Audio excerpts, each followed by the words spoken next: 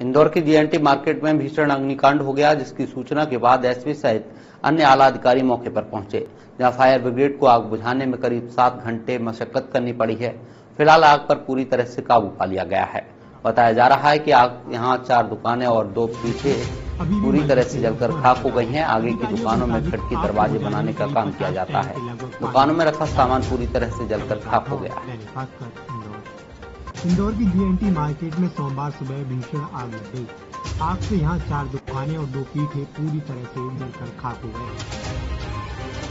करीब सात घंटे की मशक्कत के बाद आग पर पूरी तरह से काबू पा लिया गया। आग शॉर्ट सर्किट की वजह से लगी थी।